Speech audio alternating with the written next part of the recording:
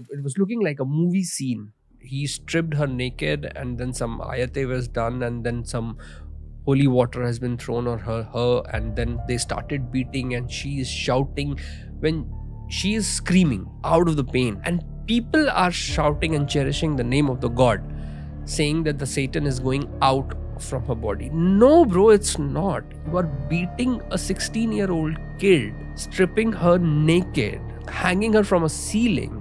300 400 people are being witnessing this. They are watching it happening. It's not. She's screaming out of pain. She's screaming out of the shame that you are bringing it to her. It's not exorcism i'm sorry. If if, if this is how exorcisms happen this is not an exorcism. In these 17 years of my exile you know what I've realized? God is there, Ghost is there. They are both there. Only us, we people, we are not trying. We are trying to give them shapes and sizes. We are trying to give them some sort of identity. On the Ranveer Show, we keep bringing you horror specials. This is another horror special from someone who some would say is a skeptic when it comes to ghosts or horror or the occult in general. Jai Alani is someone who's dedicated his life to the paranormal and he's not a complete skeptic. He likes proving narratives wrong, but that doesn't mean that he doesn't believe in the paranormal. Jai Alani's work can be found on YouTube, it can be found on podcasts. So if you know who he is, this one's a deep dive into his mind. And if you don't know who Jai Alani is, he's a paranormal investigator. I will definitely tell you that this is a man with stories, and I hope that you enjoy this conversation with someone that some people might consider a skeptic. I consider a human living through life, acknowledging the paranormal and its possible existence. He's not a skeptic for me, but he is a paranormal investigator in its truest sense. This is Jai Alani's outlook broken down. For more episodes just like this, make sure you follow the Ranveer Show on Spotify. We're a Spotify exclusive. Every episode's available on Spotify 48 hours before it's available anywhere else in the world. This is Jai Alani on the Ranveer Show.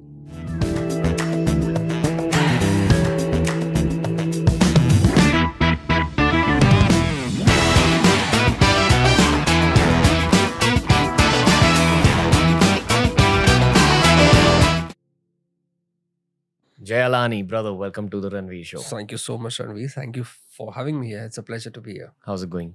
All well. All ghosts are behind me. wow. Um, man, we were looking for people who could speak about these kind of topics because it's something that listeners love hearing. Mm-hmm. Um, let's begin with a heavy question at the top straight All away, right, let's let's go for it. which is that uh, what has been the one single most intense experience you have had in this whole journey of paranormal investigation? Mm. I've been called to witness an exorcism uh, in in a small place called Maner. It is near Patna in Bihar, and uh, I saw this 16, 17 year old girl uh, getting exorcised by few people who claim themselves to having supernatural powers and they can make it easy for her uh, when I witnessed that particular exorcism, that is something that I can never forget because uh, they hanged this girl from the ceiling, they made her stripped, naked, and then they started beating her from these blooms and sticks and uh, slaps and whatnot. Can can you describe it a little more in terms of what was she like before the exorcism? Well, when uh, I, I I got a call from her brother basically. And uh, he told me that uh, jay if you if you want to witness a true exorcism because you say possessions don't happen uh, you should come here. So i said fine i would definitely would love to join. And i was in in delhi at that moment. And uh, patna is another hometown to me. So it was very easy for me to travel. I went and uh, Maner, the the place that I'm talking about, it is around 60 kilometers from Patna. So I took my car, went to uh, drove down to this place, and uh, I met this girl in the evening. I would I would not name it. Uh, in the evening around 8 8:30 so i entered inside the home it was an old home and uh, he took me to her room where she was tied with this uh, you know what do you call it khatia and she was tired and she was badly bruised uh, there was bruises on her face there were bruises on her shoulder and she was a little girl like 16 17 years. Tied, tied to a bed, basically. yeah tied to a tied to a bed and the room was in a very pathetic condition it was smelly it was very bad and i went to her and i i tried to speak to her and uh, she uttered few words Okay. and uh, she tr- she tried to say that i am good you know so fine i, I went to her brother and I, what is this? Why are you guys doing this? Just said this is the matter of uh, something very religious so let's should not get into it. Let's not touch it. Let the elders decide of the family whatever they they want to do. When is the exorcism is happening? This is happening tomorrow night. So can you stop it? You know when exorcism in india especially in a in a small village of that kind happens no one enters. No one dares to enter or say even a word because there are thousands of people who are believing in it. No police no law situation nothing can stop it. If it is meant to happen it will happen. And that will happen too. You know in in the evening we, we reached around this place where uh, she was when i saw her for the first time she entered. People took her inside they hanged her tied her hands and then hanged her from the ceiling and uh, then some islamic things the tantra mantra ritual that started happening. I don't know what they call it in uh, i guess ayate or something like that. So and then this this person who was supposedly the leader of the exorcist group the first thing he did that he stripped her naked in front of like around 300 400 people there surrounding this entire thing. Everyone is having uh, a fire in their hands for someone is having candles. No bulb no electricity was used. I don't know why no electricity was used. It, it was looking like a movie scene you know and he stripped her naked and then some ayate was done and then some holy water has been thrown on her, her and then they started beating and she is shouting. When she is screaming out of the pain. And people are shouting and cherishing the name of the god saying that the satan is going out from her body. No bro it's not. You are beating a 16 year old kid stripping her naked you know uh, hanging her from a ceiling. 300 400 people are being you know witnessing this. They're watching it happening it's not. She's screaming out of pain. She's screaming out of the shame that you are bringing it to her. It's not exorcism i'm sorry. If if, if this is how exorcisms happen this is not an exorcism. So you know when i witnessed that of course i couldn't do anything. I went and i tried to look next morning i went and tried to speak to local police and administration. They said i'm sorry we cannot do anything. It's a matter of belief. And the belief of a huge community that stays there. Things can be very violent if you if you try to interfere in a matter like this. So you know these there are kind of experiences that will always remain with me until I, I die because what i have seen will never go out of my mind. So my experiences are like that. They are not good or bad or best. It's just a few experiences that i can never forget. Um, what happened to the girl?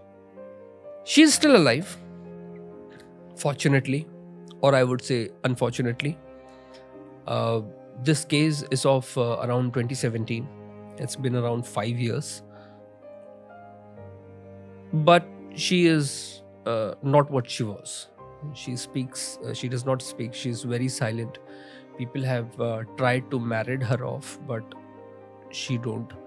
Uh, she has tried according to her brother i still speak to uh, her brother sometimes just to get an update. She has tried uh, committing suicides for a couple of times. Uh, somehow she managed.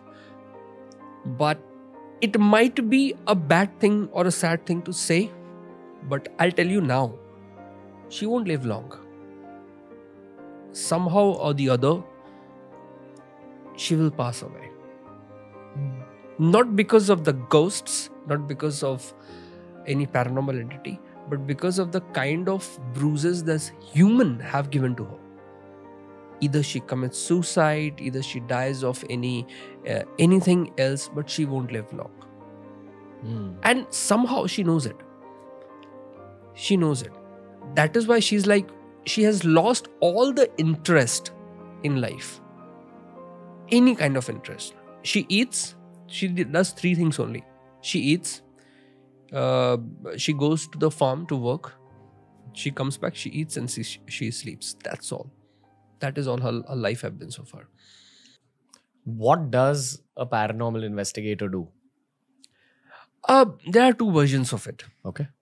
one the world believes and one people like me or Joe Nickell we believe we are here to tell the realities to people to make the world a better place. I'll give you an example. The first paranormal investigators in the entire world what i believe was illuminatis.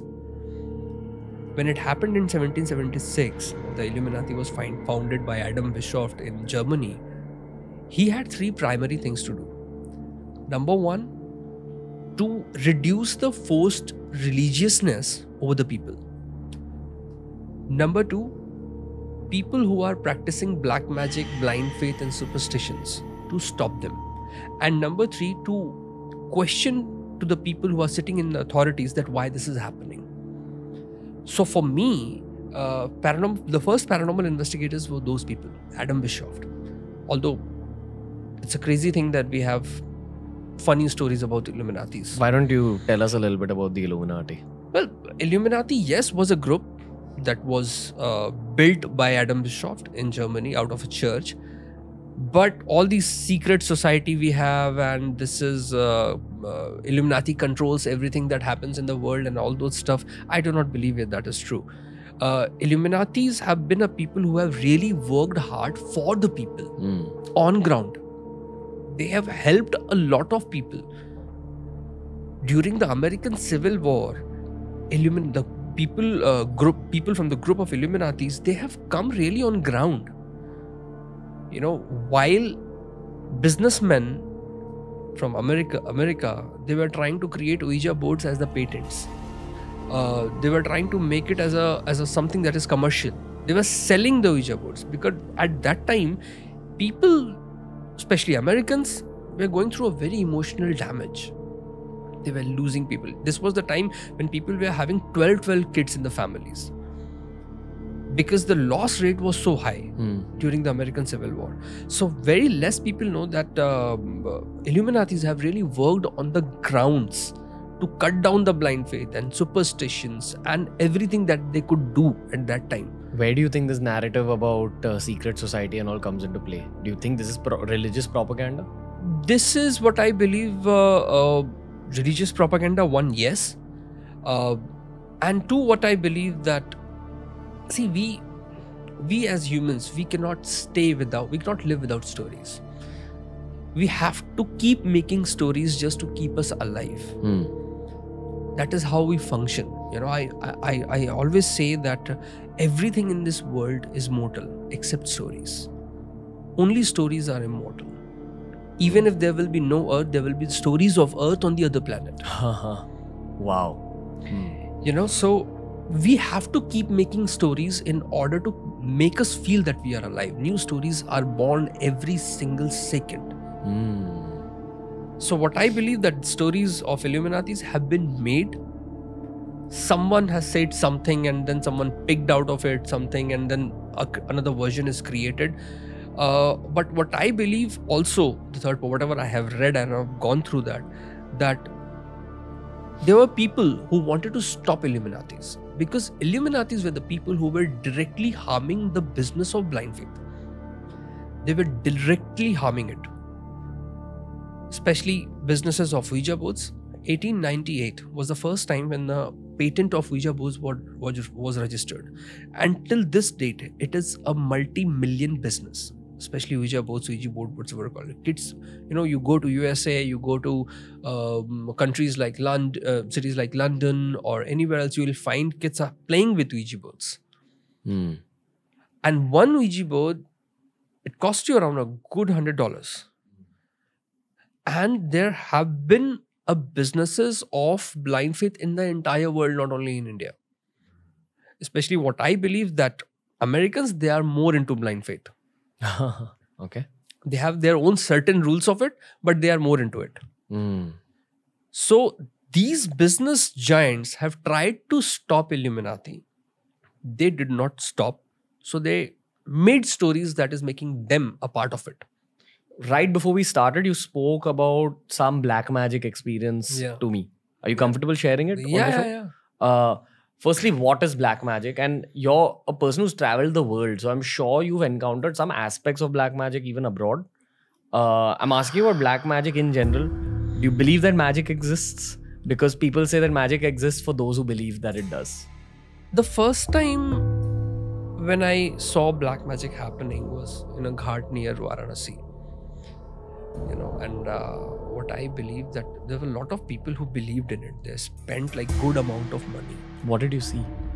I saw someone performing some sort of black magic that is helping them come out of their money issues. But what was the black magic? It was uh, a typical ritual surrounded by skulls and everything, and there was a guy was just performing all these things. For me, it was I, at that time I had no depth idea about it. I'm just just standing and looking at things, and it, it looks like movies.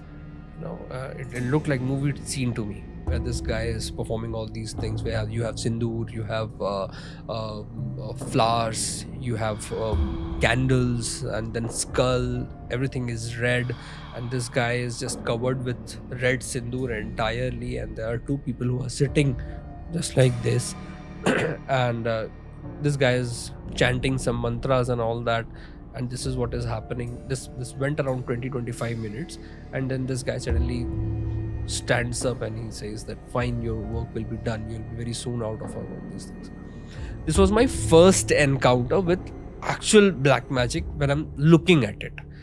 You know and all those uh, people who don't know all sorts of black magic it happens the opposite side of manikarnika ghat in varanasi the other side of ganga The opposite side. yeah the other side of ganga the other bank Yeah. Okay, okay, okay. You like you cross over. you cross over the, Ganga river and go to the other and side. go to the other side Wow. Okay. Vlog content. This Yeah. is good. Hmm. so it's and you will find many people there for people who have come for it and for people who are doing it and it happens only at night or throughout the day. anytime you go. Okay. Only not during the uh, the rains but it is happening most of the times. The best time would be like from uh, december and january. Hmm. yeah. And there are different kind of packages they deal with. Like if you have a small penis fine it will they'll do the job. A small penis. yeah they'll do the job. If you are Like not it'll- rich It'll stretch out your dick. yeah a lot Okay. of things that are happening and then if you are like uh, someone who is not rich and wants to be rich not good in studies breakups they have problems uh, solutions for everything that you go through in life Do you think any of these guys are real? no Not even one. not even one You've gone and like had a conversation i with have them. conversation once i'll tell you a story about it i got to know about this guy who is saying that you know by using some sort of black magic i can end anyone's life like sitting miles away. So this sounds very interesting. This is a new challenge that i've come uh, come up with. So me becoming becoming dhirendra kumar so any dhirendra who is listening to it i'm not becoming you. I Hmm. just picked out a random name you know. I am i i've become dhirendra kumar. Went to varanasi. I have many relatives in varanasi so i i, I know the varanasi thing really well inside out so i went around uh, 11 o'clock met these people. This is this this one guy who is troubling me troubling me very much. Who is it? His name is jay alani. You know he's like after my career and everything can you do something? He asked me like 25000 so done. When should i come? I'll come tomorrow. The next day i went there. Now there's uh, there's a ritual that needs to be performed where i have to be naked and uh, the other two people who are into the ritual, they also be will, they will be naked. So all three of them will be naked, and there will be three, four, three or four more people who will be arranging the stuff. All tantras, mantras, uh, all sorts of flowers, sindus, skulls, uh, bones, whatever it's needed. I said, This looks very interesting, but I cannot, so I'm sorry, I cannot be naked. Said, You have to be. Okay, at least give me my underwear. They say, Fine, okay, have it. This ritual happened around one- for one and a half hour. What did they make you do? They first make me do some uh, mantras, chanting and all that, and then they gave me this uh, a bone-shaped sort of bowl, you know, and they told me that go have water from the Ganga for like 21 times, you know, and put it here, and then they had uh, some blood of some animal, so they covered me with the blood. They made me uh, take a bath on it and all that stuff. It is it, it is like a movie scene. It is totally a movie scene. And i am do just intentionally doing it whatever they are saying it. Not even one wrong move. I did not want to give them an opportunity that you you did not do this correctly and I'm, and there's the one guy who's a leader of the group he's sitting around 10 meters ahead far from what is happening and he's having his own drinks and everything he's very sorted on that note for one one and a half hour it goes so fine your work will be done in the next three days and it's been around three years i'm here alive sitting in front of Like you you did a ritual to kill yourself. My- my- like the guy myself, Jay yeah. Alani. Wow. Okay. and i've taken more risks like that And with the same results. with the same results That nothing happened. uh, heard about Vashikaran. So Vashikaran is um, I don't know what to say. Vashikaran is is something where you can have your dream girl. You know, just you you perform these black magic and you can have your dream girl or a dream boy you know must must have seen a lot of ads on indian newspapers social media and all the manchaha varpaye kanya paye and all that stuff. And i'll tell you a shocking fact about them. I have the phone recording of one such person although i have been there. I've also mentioned it in my podcast multiple times. So i have become a guy who is 22 23 years old and just want to have my favorite girl in my life. I reached out to this guy and said, Baba, let's do the Vash- Vashikaran thing. Uh, he said it will start from 5100 and goes for like 75,000. Which package do you want? So, what is the differentiation between the packages? You know, from 5,000 minute chances to 75,000 100% chance. So, let's go for 75,000 because I, I just love her, you know, I, I just don't want to see her go. So, please make it happen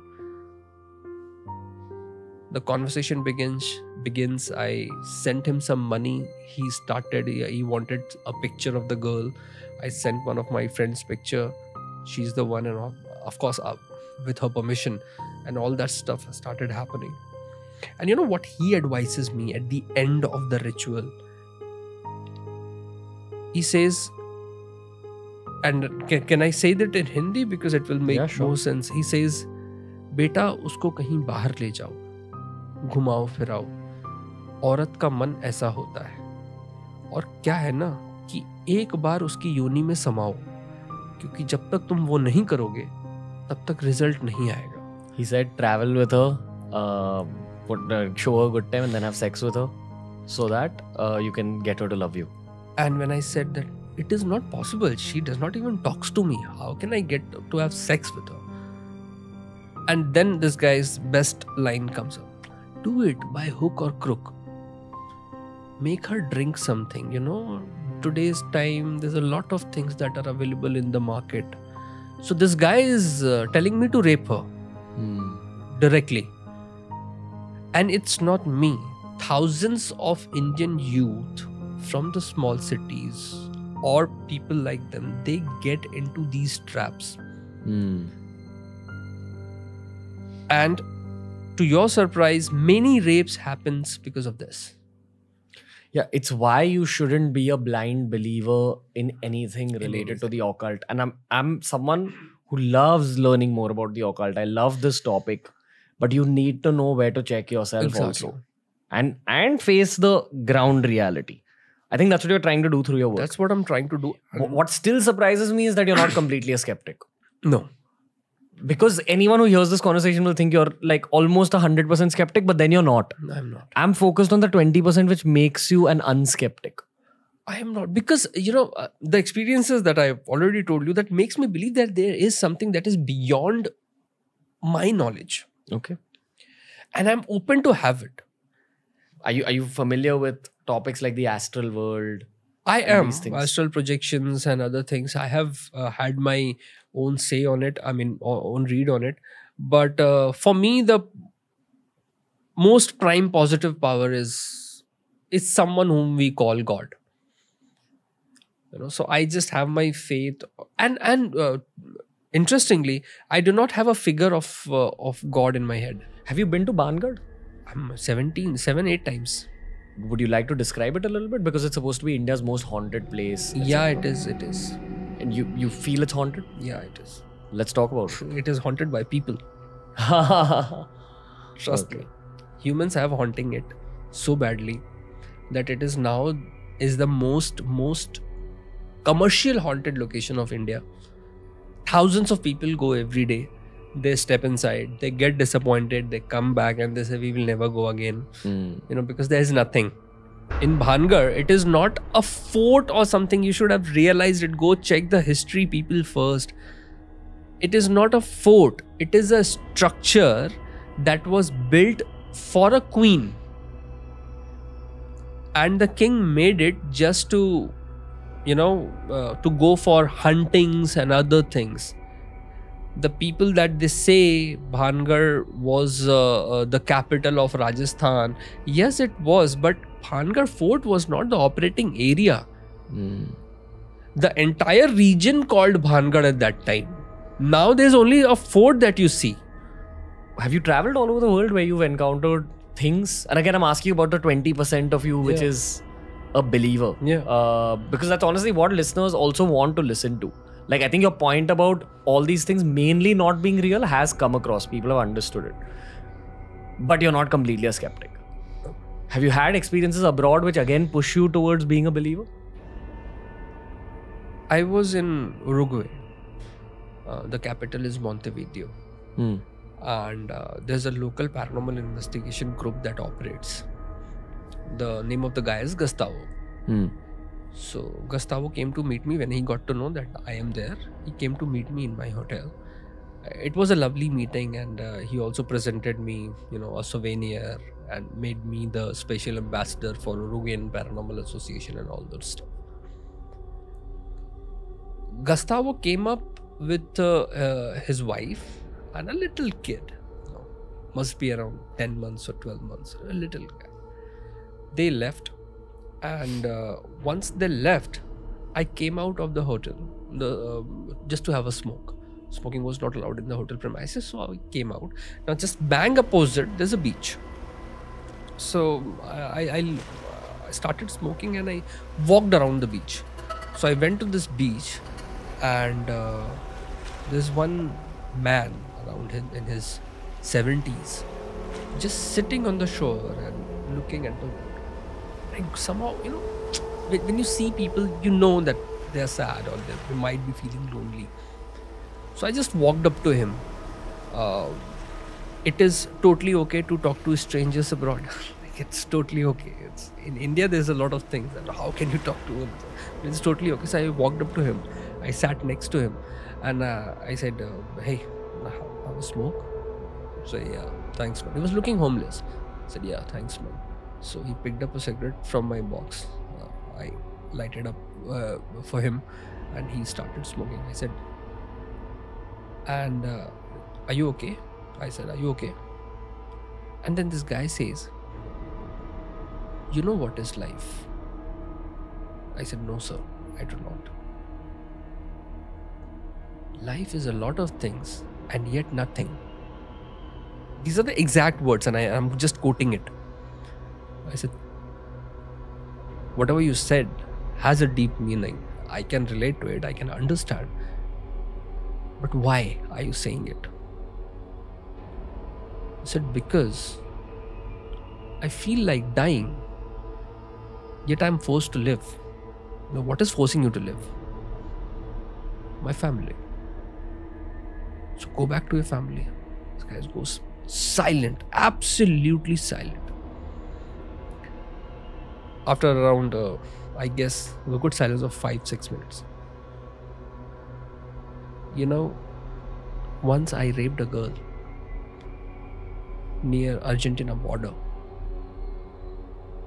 It's been 17 years. I have come out and I'm not gathering that courage to go back to my family to face them.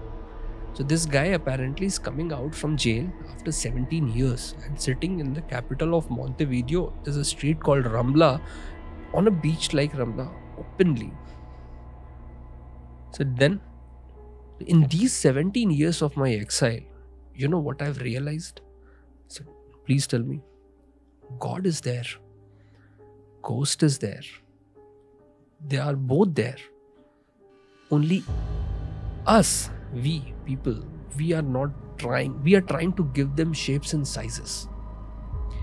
We are trying to give them some sort of identity. So this guy apparently sounded very much um, uh, deep in. I mean, it felt like that he has gone to analyze himself throughout the years in exile. And then this guy stands up, he goes up, he walks out. This conversation, if you look, has no meaning. It has no meaning. But why I'm telling you this conversation that I have met people like him many a times where they have changed entirely from what way they were that makes me sometimes believe that there is something that is also changing humans for the good apparently i am a total believer you can say like complete believer of everything of whatever people say it's just that i have my own way of seeing things You know, they say that if you feel a lack of anything, you give out more of it in the world. Yeah, yeah. So it, it might have happened because of, uh, you know, I was four and a half when I was sent to boarding.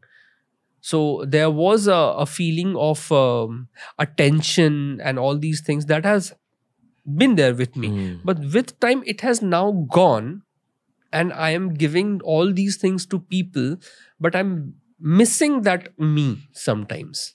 Yeah. Maybe, maybe you'll find it through more exploration. Yeah, Mr. Alani. maybe, maybe, maybe. This was a heavy episode. Oh well, Thank very you. heavy. Thank you so Uh, much. I hope you had fun on the show. And Great uh, hoping to have you again after you've accumulated even more experiences and more NDEs for great Oh. podcast content. Oh well, thankfully. I mean, I'm not wishing for NDEs. I know, I I'm know. wishing for you surviving the Oh, NDEs. yeah, yeah. So thank you, Mr. Alan. Thank you so much, Arvind. This episode was different, I know. We usually host people on this show who are very convinced about their paranormal experiences, but I feel perspectives like this are important as well. While it's fantastic to ask more questions about the paranormal, it's also important to acknowledge perspectives like Jai Alani's perspective. I disagreed with him in many of the points that he put across. I feel like human reality is extremely subjective. Everyone's minds are capable of perceiving or undergoing or seeing different levels of reality. That's something I've learned through the podcast, uh, through talking to people like Shri M, Ambika Devi, other paranormal themed episodes of the Ranveer show. But I definitely acknowledge Jai Alani's perspective because he's someone who's put himself in those strange situations for more strange episodes just like this. Make sure you follow the Ranveer show on Spotify. We're a Spotify exclusive. Every episode's available on Spotify 48 hours before it's available anywhere else in the world. Many horror episodes will come up very soon on the Ranveer show. So stay tuned.